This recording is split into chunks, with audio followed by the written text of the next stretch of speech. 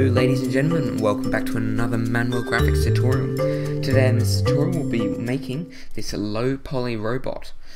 So I made this in Blender at school the other day, um, and I'm just going to show you how I basically went through the steps of creating this. So I've got the blend file here. I won't go through the lighting and the scene setup, I'll just, all the materials. I'll just go through the basic modeling steps I went through.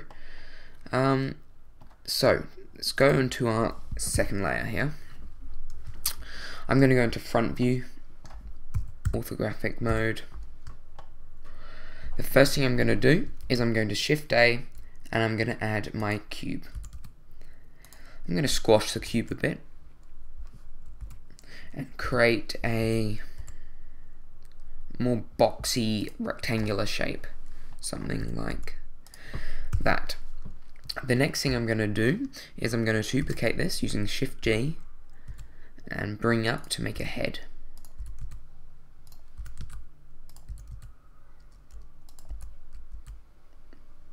Like so. Now you can make your robot's head as big or small as you like. I'm going to make a more rectangular shaped robot than the other one. And the last bit is to duplicate this again and bring it down on the Z. And flatten it like so. And then go into edit mode hit control T uh, control tab and change it to vertex select. Go wireframe select the top vertices here zoom in. E to extrude, scale, pull. To create a shape like so, and select the bottom vertices, and we're just gonna make it more rounded. And that's our base of our robot. So now that the main steps have been done to create the body, we're going to create the neck and uh, connecting valve, and also the shape that will create the arms. To do this, we're going to add another cube. We'll move it over to the side a bit, scale it down. Around, you need to make the size, that's a good size for your pipe. And to make the pipe, we go into edit mode and wireframe mode, select the top vertice, hit E, click, scale in a bit, E to extrude, click, pull out so it matches there, and E up. And that's the piece that we use to create our neck. I'm just going to shift D that so we don't lose it.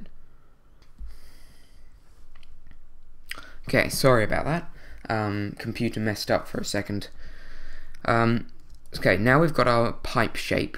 We're going to G to move it into our decided position, and we can scale it down a bit actually. And you're going to go add an array modifier, and make sure it's going up vertical. Um, vertical, sorry, my bad. And you just want the shape joining the other shape. So 0.7 works for mine. And that creates the neck, and you can shift G and also the attaching piece for our section here and it just count on the Y so it's normal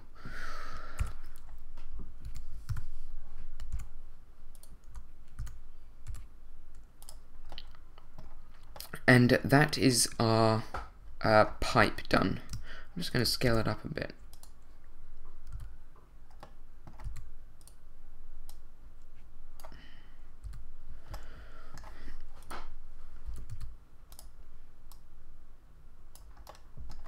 Something like so. So my robot here has quite a fat body, but that's okay. The next step is to create the head shape. So to do this, I'm just going to go into edit mode and I'm going to hit control tab, select the first face here and just hit scale and I'm just going to hit E, click, then scale. And I'm going to have my mouth in the center of his face. Something like so. The next bit is to create the eyes. To do the eyes, I just added a cylinder with 16 vertices.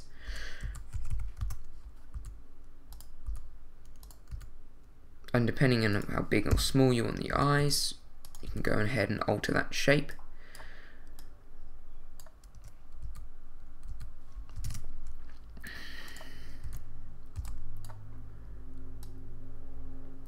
And that's how I created my eyes. Bring them down. Move it over to the other side and just alter the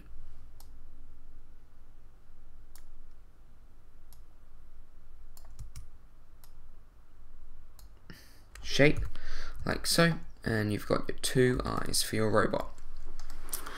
Um, the next thing we're going to do is we're going to make his arms.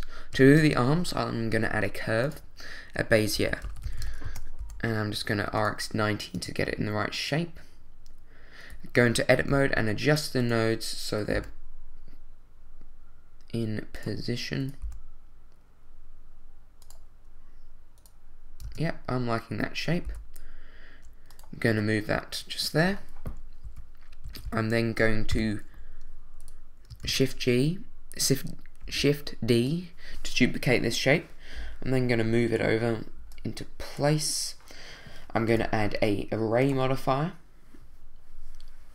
an array modifier and a curve modifier and make it attached to our Bezier curve number uh, 1 and I'm just going to 0 0.7 and I'm just gonna oh wait.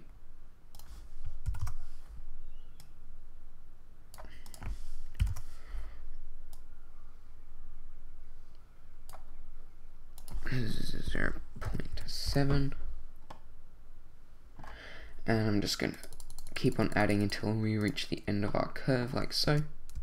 And when we do I'm just going to apply this and move it in and move it down this way. And adjust the curve as you like.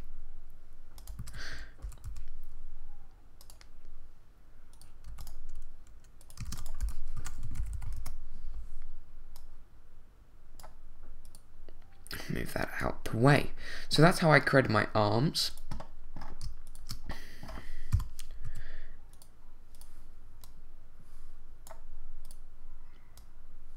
Now to create the hands and fingers, I'm going to add a pentagon or pentagonal prism, so five vertices on our cylinder. I'm going to rotate it on the x-axis as we do, and I'm just going to scale it down.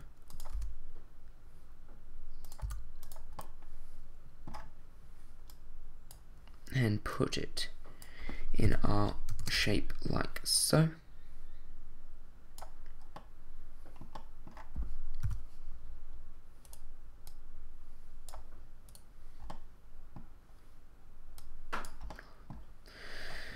And that's our hand done. For our fingers, I added a cube, scaled it way down.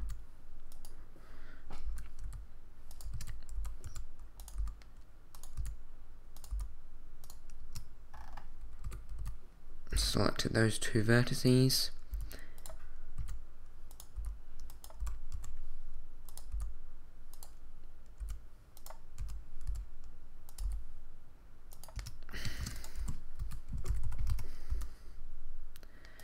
And created fingers like that. Very simple. Just multiple extrusions and turning on the y-axis. And that is the main bit of our robot. Ah, can't forget the buttons on the front. To create the buttons, you just add a cylinder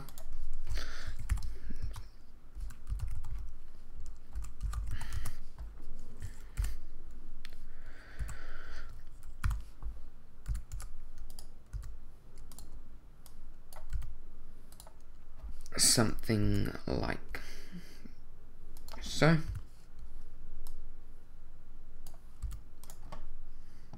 And for the shape on top, I just added a cube, subdivided it a few times, then bevel.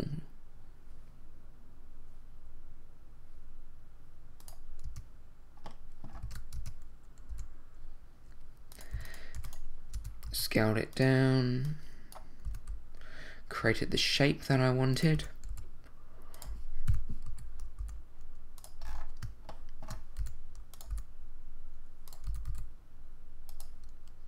So it fits in my uh, cylinder here and just beveled it. So it had a curve and placed it like so. And then I just shift and then you just rotate it like so and you can also add a screen to your robot by going to edit mode, selecting the face, hitting E, then clicking, and scaling. I want my screen here. Then I'm going to hit E. Now you can either pull it out screen like so, or you can have a nice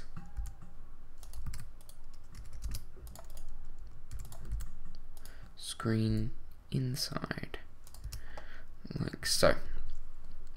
And then I just added a few buttons down there. Have a look at the original here. I had a bit of detail on the top, added some more detail there. I also created these hollow things. Uh, they're just squares cut out. Um, yeah, that's about it. So, this is the simple way on creating your own uh, robots. If you have uh, any problems or want any tips, just ask in the description um, in the comments below, and I'll be glad to help you. Uh, just to notify you, the materials were all diffusal or emission shaders, apart from our hologram, like floaty things, which were a emission and a transparent with a 0.8 factor, and a pale blue. Sorry, an electric blue. Um, that's about it. Thank you very much for watching this tutorial, and I hope you learned a bit about um, just modeling things, and in general using curves to create desired shapes. Um, thank you very much for watching, and I shall catch you in my next video.